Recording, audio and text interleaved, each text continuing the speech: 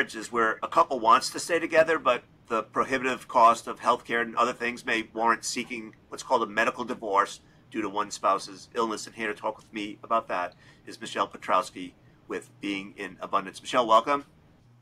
Hey, Robert. Thanks for having me today. Oh, it's a pleasure, and it will be a pleasure to have you uh, walk us through what a medical divorce is. I'm sure there are plenty of people that are unfamiliar with the term. Where to begin? Oh gosh. Well, you know, um, I'd like to start with a study from the Kaiser Foundation in 2015. Um, they were talking at that point, and this is, you know, how many years ago, that 26% of adults questioned during the survey, either themselves or a family member had had difficulty paying for medical costs. And healthcare uh, costs, according to debt.org, are approaching $4.3 trillion a year and 33% of GoFundMe accounts are to pay for medical costs. And the other thing I thought was really kind of crazy but interesting was 60 to 65% of bankruptcies are actually related to medical costs.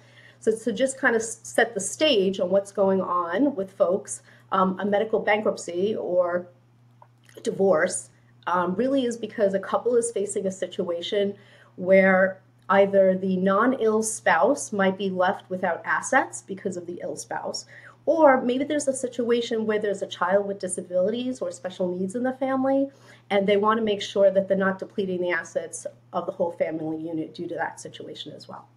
And so they might be faced now with a situation that to just reduce the depletion of the assets, that divorce seems like the only way to go. Yeah, those certainly seem like um, good reasons, but hard decisions to make. How did how does the I guess two things. One is how do you get your arms around doing this emotionally? Obviously, the finances seem to make sense on paper, but emotionally, it seems a, a high hurdle.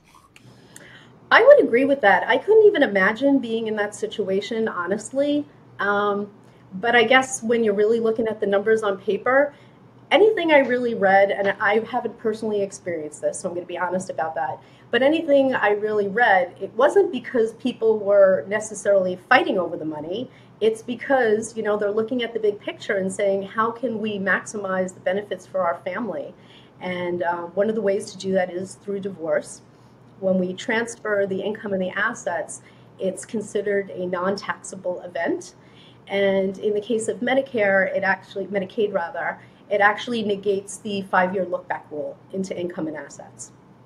Yeah. So you talked about some of the health issues that affect people that may want to go through this. Uh, we've looked at a lot of things like the cost of Alzheimer's and dementia, uh, perhaps the uh, the inability to pay for long term care costs because you're you don't have a policy, perhaps, or your policy is inadequate, and obviously there's the rising costs of healthcare, which um, is is is is dramatic. Yes, yes. So, you know, typically uh, from what I read, the medical debt is higher among elderly folks for the reasons that you just mentioned. I mean, Alzheimer's and dementia alone, folks can live for years and they typically need round the clock care and they need to be in a special unit. And so they will have to be in a longer term care facility. And that can become very expensive at tens of thousands of dollars a month. Yeah.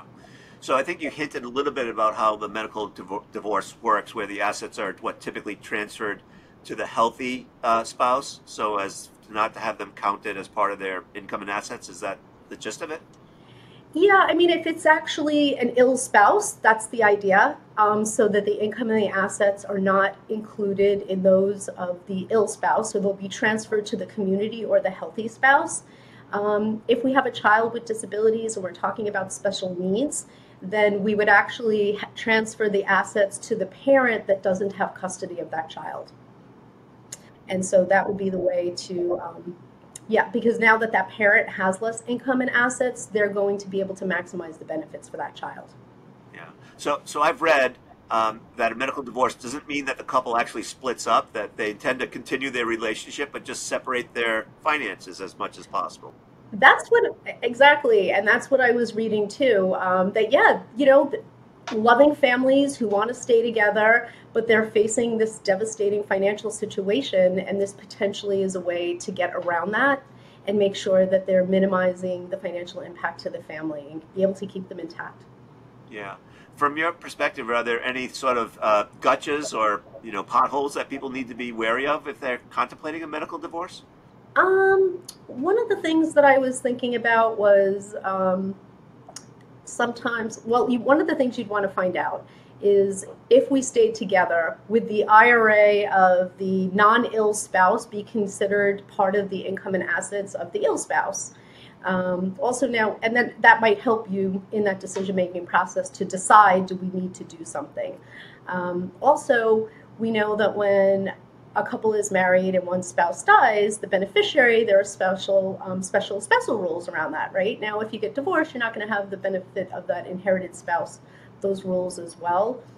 I think, though, from what I was reading, there really are a lot of other alternatives as well. So I got the feeling that you definitely don't have to go this route. There are other things to consider. Um, I have a list of them, so I'm just going to kind of touch upon them. There's like something called a Miller Trust. Uh, sometimes that's called a qualified income trust, um, irrevocable funeral plans, a Medicaid compliant annuity. Uh, there's also long term care partnership plans and ABLE accounts and pooled income trusts. So I think that there are other alternatives. I wouldn't just run to divorce. I would say go see someone that specializes in this area of law and planning and really have them walk you through what your options are so you can make that right decision for your family.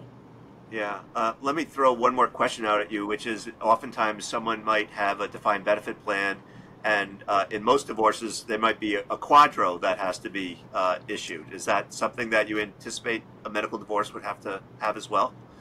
Yeah. So divorce and um, Medicaid laws are actually state dependent. So if you're going to get divorced, regardless of the reason, you, you're going to be following A, your state law.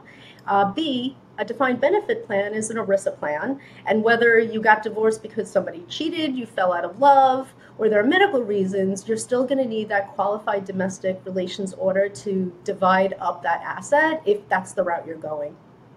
Right. And then, so there's a, a it, as you mentioned, it really behooves you to get a qualified estate planning attorney or a financial planner that might have the CDFA designation, for instance. Uh, any other thoughts about like what kind of professionals should be on your team? I well, I, I I would really look at honestly if it was me and I was thinking about a medical divorce, I would go to someone that specializes in Medicaid and special needs planning. I would go to them first and I find that the CDFA is most helpful if you're looking for an equitable di- distribution. In this case, we're not really looking for an equitable distribution. We're looking to kind of load up one parent versus or one spouse versus the other so that the other person could maximize their benefit. But to my point before, there are so many other options I found that maybe that one doesn't even really make sense divorce. Yeah. Uh, you mentioned Medicaid. I think there's a case where people are familiar but not necessarily expert in all things Medicaid. So sounds like they should go in with their eyes wide open in terms of what Medicaid will pay for and what it will cover and what the experience will be like. Is that fair to say?